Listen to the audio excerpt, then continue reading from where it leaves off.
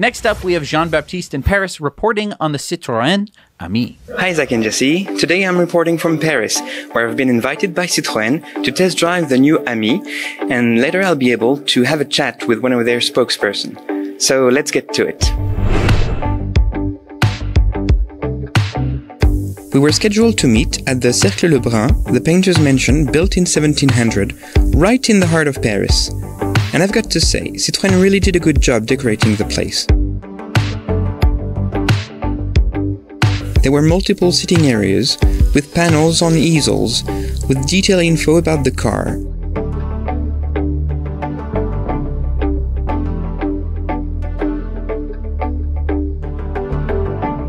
and they also had all the Ami goodies on display.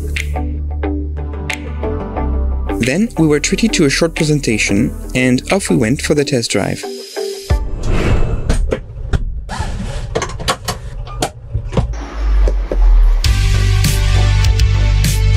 When I stepped back inside the Ami for the test drive, I was again struck by the sense of space that you get, no doubt due to all the windows and the skylight. The acceleration of the Ami is good, but I still felt it didn't totally match my expectation for an electric vehicle.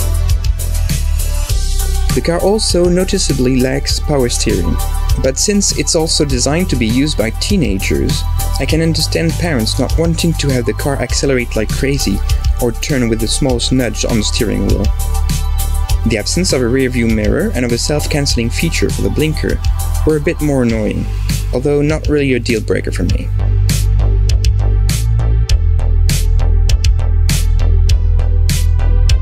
For this part of the day, Citroën provided us with a cell phone with a pre-established GPS route that took us around Paris through various landmarks, providing us with great photo ops.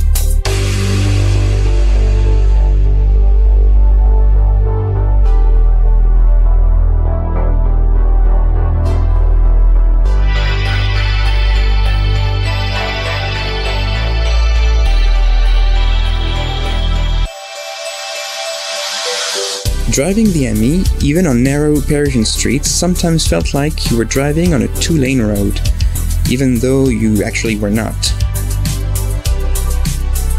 The Ami definitely shares the space with other mobility solutions, and I wouldn't be scared riding my bike alongside one. All in all, I had a pretty enjoyable time aboard the Ami, and pretty soon the course was over and it was time to do the interview.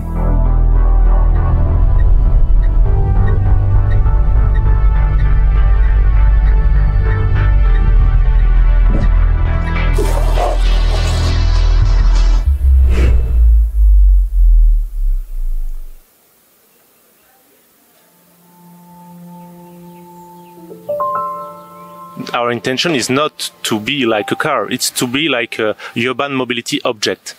But even if we are in the same category as the VSP, uh, we have uh, thought and worked on a, a, vehicle which is not a VSP. We don't want to copy uh, the small cars. We want uh, another concept. Uh, you mentioned that VSP are popular for older people. We want to take the opportunity of the license-free ability to ride AMI to attract uh, those young customers as well.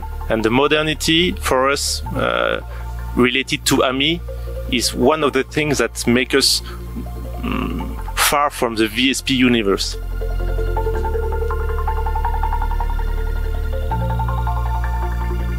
AMI is not a French car.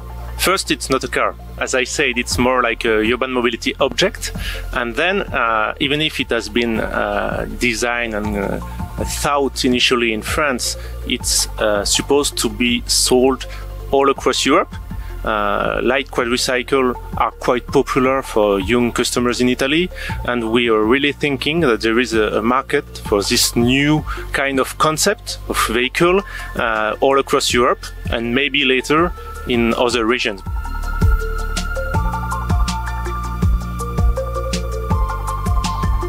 AMI, as we think it is, is not only designed to be purchased as a classical car. So we are proposing a possibility to use it one hour, one day, one month. So we want to develop some kind of a la carte offers to answer the different needs of the customers. And uh, to answer your question about free to move, we really think AMI is a great asset to develop car sharing operations. AMI is born for the city, for the small trips, for uh, short usages. And uh, I think that's also the ambition for car sharing in the big cities. And Free to Move will uh, use and develop its offers with uh, AMI. I'm sure of it.